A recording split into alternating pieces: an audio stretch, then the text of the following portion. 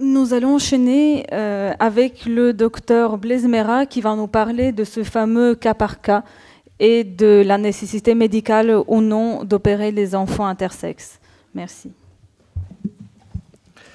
Alors, je ne sais pas si c'est euh, vous, Madame Petkova, qui m'appelez le fameux chirurgien. C'est à peu près le seul chirurgien. C'est intéressant parce qu'en venant ici, dans, le train, je me suis demandé, mais pourquoi, au fond, est-ce qu'il y a tellement de difficultés à euh, pouvoir témoigner des choses quand on est euh, médecin ou quand on n'est pas médecin donc, euh, pour résumer, je suis chirurgien pédiatre. J'ai pratiqué des interventions non consenties. Il faut tout de suite installer l'histoire. Je me suis, j'étais chargé de la responsabilité d'urologie pédiatrique au centre universitaire vaudois pendant ben, de très nombreuses années, une quinzaine d'années. Et petit à petit, depuis 1993-14, l'avènement de l'ISNA, euh, j'ai pensé que c'était plus possible de continuer comme ça, euh, avec de plus en plus de témoignages de gens pas contents. Ce qui est intéressant pour un chirurgien, c'est que c'est la seule spécialité où on a affaire à des gens pas contents. Quand même. Euh, donc il faut se poser des questions. en 99, il y a eu un, colloque très intéressant à Dallas où des, dinosaures de la chirurgie se remettaient en question, puis je me suis dit qu'il fallait quand même qu'on essaie de, le faire aussi en Suisse. Et puis après, c'est difficile, parce qu'en fait, euh, je, me suis rendu compte dans le train en lisant euh, qu'en fait, seules les personnes vraiment euh, intéressées et connaissant la chirurgie peuvent lire les bons articles. C'est-à-dire que on nous cite beaucoup d'articles qui ne sont pas les bons articles et qui eux-mêmes nous disent qu'ils ne sont pas des bons articles. Je viens d'en lire un dans le train. Euh, donc je pense que c'est particulièrement important, et c'est pour ça que je continue à le faire. Euh, je suis à la retraite depuis quelques mois, donc je gagne rien, je ne suis pas intersexe, peut-être malheureusement d'ailleurs. Euh, mais, je crois qu'il faut que quelqu'un qui, est somaticien le fasse. Sinon, on va dire oui, mais ce sont euh, des psychologues, ce sont des intéressés, ce sont etc. Mais on est obligé de. Il y a, je crois qu'il faut être extrêmement clair qu'il n'y a aucune. Alors, il y en a quelques-unes rares, tu as dit. Alors moi, je dirais aucune. Voilà. Euh, indication à opérer quoi que ce soit qui représente une intersexuation ou une variation du développement du sexe ou une différence. Aucune. Je vous assure, j'ai à peu près, ces derniers temps, lu tous les derniers papiers pour être sûr de ce que je vous dis et de ce que je dis euh, dans, ce type de colloque. Je ne trouve aucune raison, même dans la littérature des plus purs des chirurgiens, même dans celle-ci, ils n'arrivent pas à nous la donner. Alors voilà, si, euh, bah, il y a bien un jour où j'abandonnerai, je, quand je pourrai plus prendre le train ou quand, quand j'aurai plus d'argent pour venir à Paris, j'abandonnerai.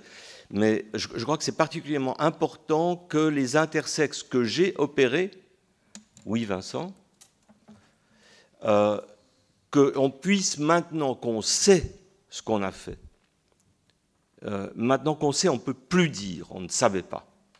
M. Hirsch a eu quelques paroles très importantes, M. Bayet, qui est plus là, a été très fort aussi. On, ne peut pas dire on ne savait pas. Il y a suffisamment de littérature, si on la cherche et si on la trouve correctement, qui nous le dit. Une chose qui est très intéressante à propos de la littérature est de la vérité, entre guillemets. Qui nous a dit qu'on faisait, nous, chirurgiens pédiatres, des bêtises? Lisez bien. Alors, ce n'est pas toujours facile parce qu'il y en a, il y en a ce sont les chirurgiens adultes. Sarah Creighton, qui a été une des premières à dénoncer les, interventions du clitoris, c'est une gynécologue adulte. Pourquoi? Parce que nous, chirurgiens pédiatres, ne suivons pas nos patients et que nous ne pourrons jamais vous dire qu'ils ont des troubles de la sexualité, du trouble du plaisir, parce que nous ne les suivons pas. Et je viens d'avoir un article qui est cité euh, euh, comme référence pour, euh, pour les problèmes d'hypospade, un article qui suit les enfants 26 mois en moyenne. Mais qu'est-ce que c'est que cette plaisanterie? Alors moi, je suis désolé, je, fais de l'autoflagellation, mais quelle, quelle justification à avoir de la chirurgie pédiatrique si on n'arrive pas à suivre nos patients? Donc vous voyez que je vis très loin. Donc voilà, c'est la raison pour laquelle je viens. Je ne suis pas fameux, je suis à peu près le seul. J'ai fait mon coming out comme chirurgien non opérateur en 2009. Enfin voilà, euh, ça, fait un moment que je balade ma petite valise de représentants euh, et, que je vais continuer à le faire.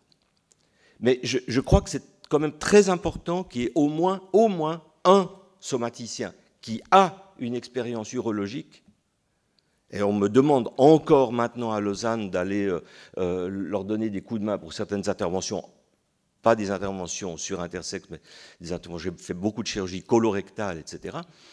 C'est important qu'il y ait une voix, et puis ce que j'ai remarqué, comme je vous disais, c'est une voix et des yeux qui savent lire, et qui savent lire la littérature, et qui savent lire les autres papiers qui ne sont pas cités.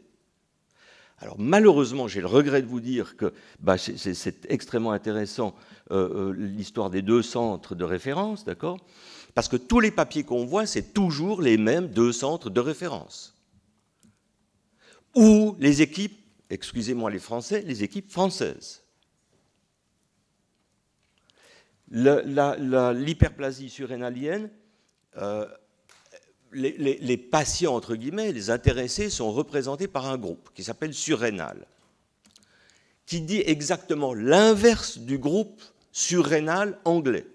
Je les connais bien, ils sont venus prendre le thé à la maison, euh, une famille qui représente l'Irlande du Nord dans les CAH, Joanne et Marc, son mari, leurs trois filles non opérées.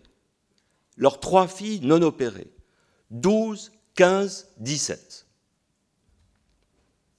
Et on nous dit qu'il faut opérer les patients avec des problèmes euh, d'hyperplasie surrénalienne pour leur sauver la vie. Mais non, mais non, c'est complètement faux.